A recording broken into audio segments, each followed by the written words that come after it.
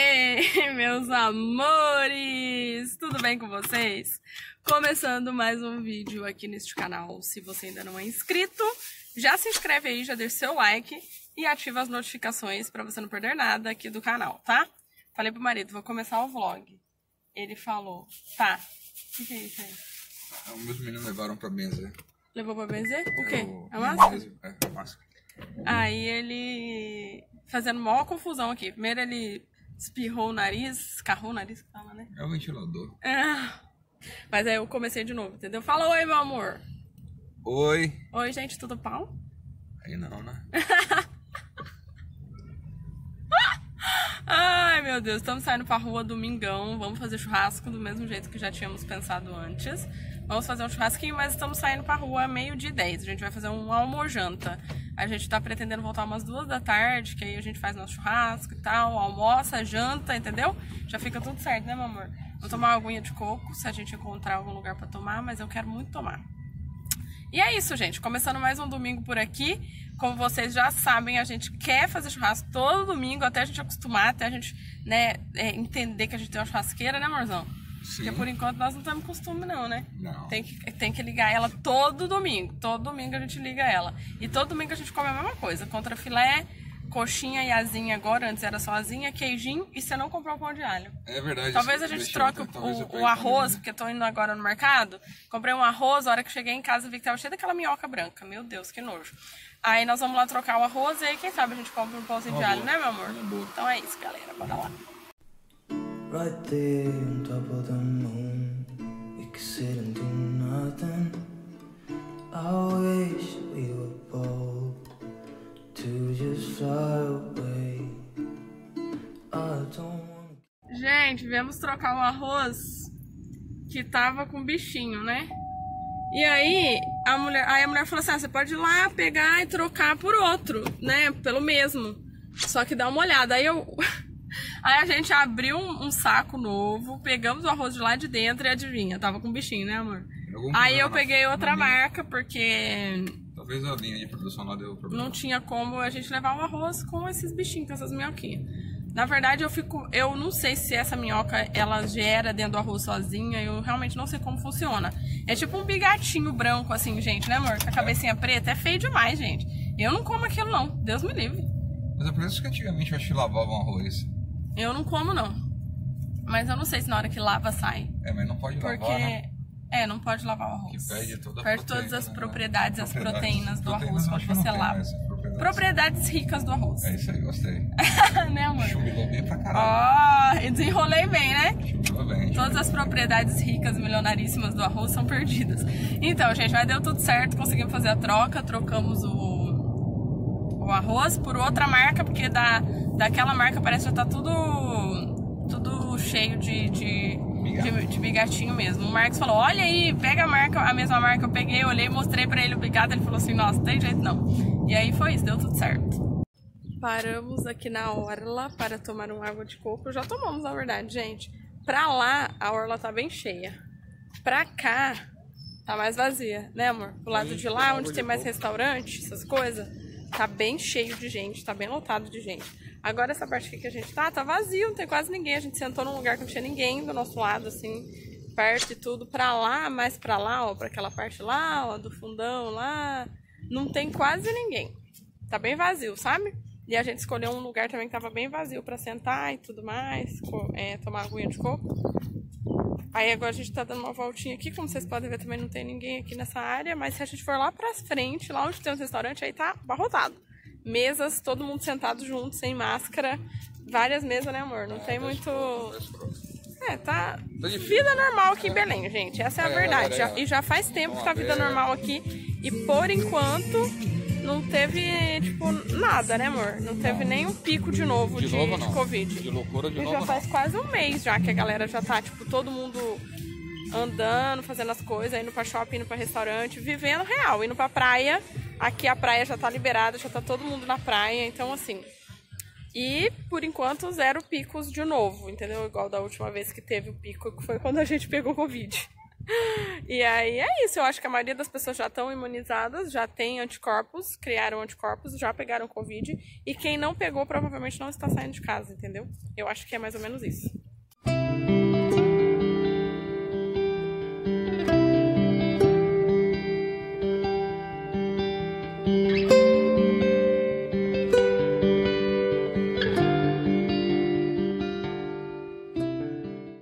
Youtuber de vocês é um fracasso, hein? Vou te contar, gente. Já cheguei em casa, já guardando todas as compras. Tô aqui fazendo um arrozinho agora, porque a gente vai comer arroz com vinagrete, tudo bonitinho. Fizemos umas comprinhas, já coloquei tudo aqui, ó, na água sanitária. Já tirei, já coloquei e já tirei da água sanitária. Agora tô passando uma água corrente em tudo. Depois que eu passo a água sanitária, eu jogo uma aguinha assim nos legumes, ó, tá vendo? Que é pra tirar, sanitária que ficou e tudo mais. Aí agora eu vou picar todo esse cheirinho verde pra congelar. Marcos comprou alface. Vamos fazer um churrasquinho. Pãozinho de alho, aquele rolê que vocês já sabem. Tem um feijãozinho aqui. Onde que eu coloquei? Eu sou meio doida, vocês não têm noção. Ó, aqui um feijão fradinho que sobrou. Vou fazer uma farofinha de ovo. Com a farofinha que sobrou do, do, da semana passada. Eu vou pegar aquela farofa, vou colocar um pouquinho de ovo, manteiga e fazer uma farofinha bem gostosinha assim, sabe? Pra gente comer. Vai ficar gostoso, é isso. Enquanto isso, ó, marido está queimando o pão de alho. Oh, maravilha. Hã? Enquanto isso, o marido tá queimando um pão de alho. Olha aqui, gente, pão de alho não... É, não queimou não, vai, não queimou não. Já tá ali o contrafilé, queijinho, nossas... É, como que chama isso aqui mesmo? Franguinho, tulipinha, coxinha, tudo bonitinho, como sempre. Gente, nosso churrasco é sempre o mesmo. A gente não inventa moda, né, meu amor? É sempre a mesma coisa. Olha que delícia. Hum, eu queria que você sentisse o cheiro, gente. Eu sei que é sacanagem, mas eu queria. Ó, o contrafilé já tá aqui. O salzinho grosso, logo mais vai pra lá. Olha como tá bonito. Tá bem gorduroso, do jeito que eu amo. Que eu amo comer essa gordura aqui. Hum, que delícia. Olha lá, e o Marco bota o temperinho que eu fiz lá em cima pra ficar bem gostosinho, né, amor? Pegar bastante tempero. Delícia.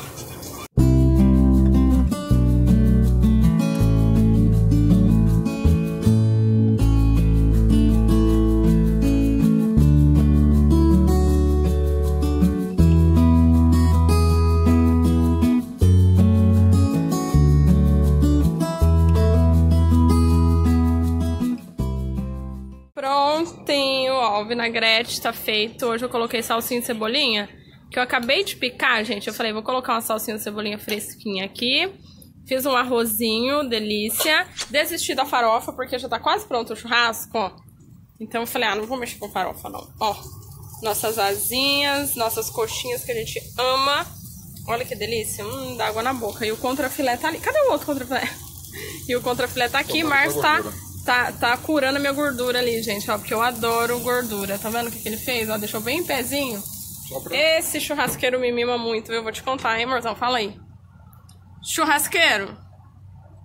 Tá gostoso? Pegou o tempero? Pegou. Pegou? Que eu fiz o tempero da asinha agora e a gente tava com medo de eu não pegar, mas pegou, né? Pegou. Fica mais suave, fica mais gostoso, será? Fica mais suave, fica mais gostoso. Ai, ó, tá vendo? Então acho que tem que temperar na hora mesmo. Acho que agora a gente vai mudar o método.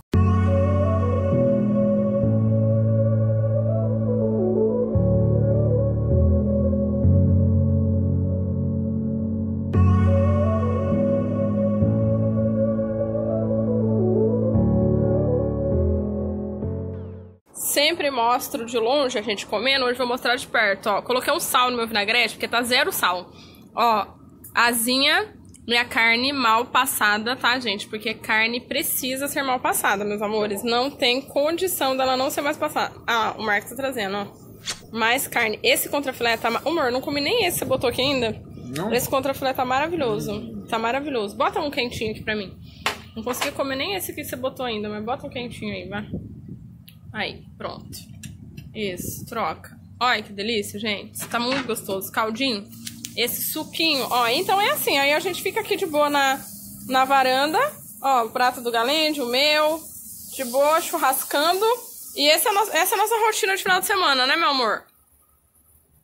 De domingo é. De domingo é. E a gente ama, né? Ah, A gente não enjoa, né, amor, de fazer o churrasquinho todo, todo final de semana. A gente não enjoa, gente. Então vocês vão ter que aguentar.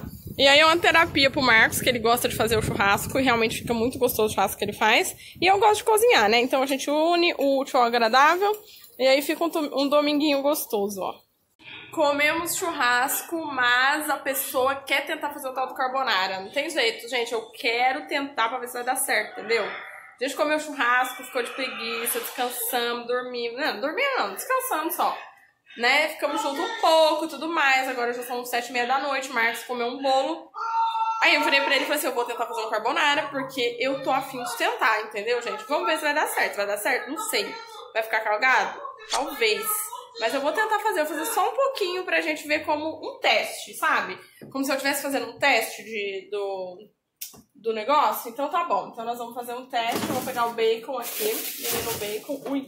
Nossa, gente, vocês têm noção da geladeira agora ela não. É, o piso, ele é zoado, ó. E a geladeira, ela não fica mais, ó. Ela fecha sozinha, ó. Auge, entendeu? Então eu vou fazer agora um testinho de carbonara. Então é o quê? Bacon, cebola. Eu vou botar no meu, né? Bacon, é, vou fritar o bacon, depois vou fritar a cebola no, no óleo do bacon. E aí um ovo eu vou colocar e vou colocar parmesão nesse ovo. Misturar. E diz que é isso. Se ficar ruim, eu taco creme de leite. Olha o carbonara dela! Ô, gente, deu certo! Vou fazer a receita pra vocês em breve, tá? Esse aqui é só o teste do carbonara. Vocês não estão entendendo, né, amorzão? E aí, vida? Qual o gosto do sabor? Muito bom, O sabor? muito bom, Muito bom?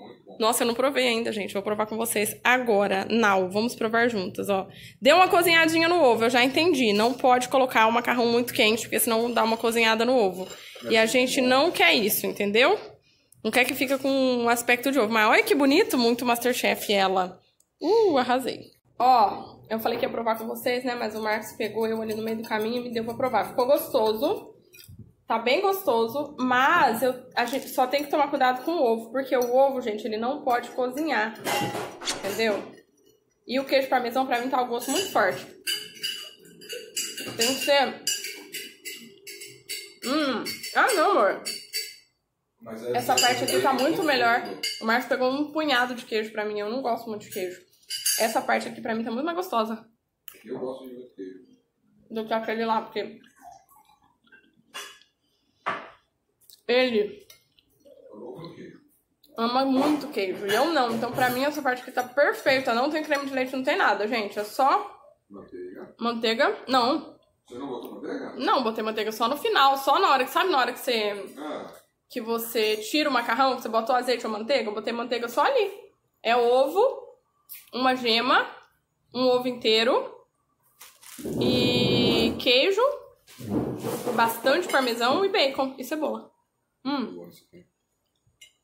bom. Gente, acabou de dar uma chuva. Na verdade, tá chovendo ainda, né, amor? Tá chovendo ainda? Já parou? Ainda tá um pouquinho de chuva. A gente comeu nosso carbonara. Nossa, tô muito Masterchef. Gente, tô orgulhosa do meu carbonara. Vou falar, tô um nojo. Eu achei que eu não fosse acertar, porque é um negócio difícil de fazer. Da primeira vez que o Marcos fez, tem vídeo aí no canal, inclusive. Do carbonara que ele fez a primeira vez, né, vida? Da sua tentativa. Sua primeira tentativa, não foi? É verdade. Da primeira tentativa não deu certo, o ovo cozinhou, virou um omelete de macarrão, ficou um negócio mó estranho. Mas não, agora eu acertei o bagulho. Agora, eu, é, se vocês quiserem receita, vocês me avisam, aí me avisem aí que eu mostro pra vocês, porque carbonara também é um negócio difícil de fazer. Mas reparem, gente, eu sou muito melhor fazendo salgado, fazendo comida salgada do que comida doce.